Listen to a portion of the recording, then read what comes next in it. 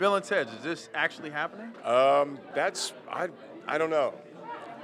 I don't wait, know. wait. If you don't know, I don't know. what do you mean you don't know? I don't know. It's crazy. It's been like seven years. It gets like I'm told, yeah, we're doing it, and then I don't know if we're doing it.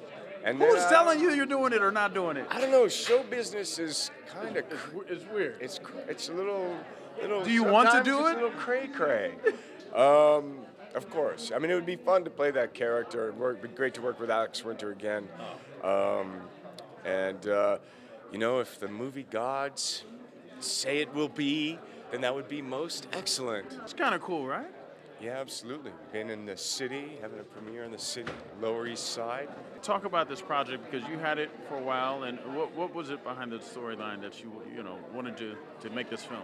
It's a love story, a tragic love story. I was uh, filming with Ana.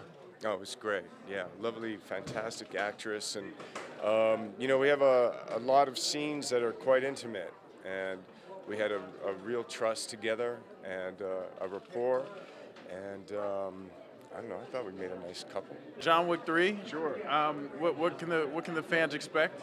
A lot of things. Break it down. Oh my gosh. Uh, well, John Wick's uh, fighting for his life.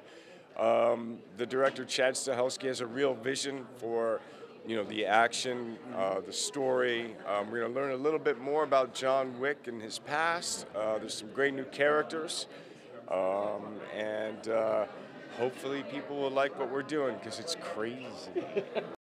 One more extra? Hit the subscribe button and the bell never miss a video.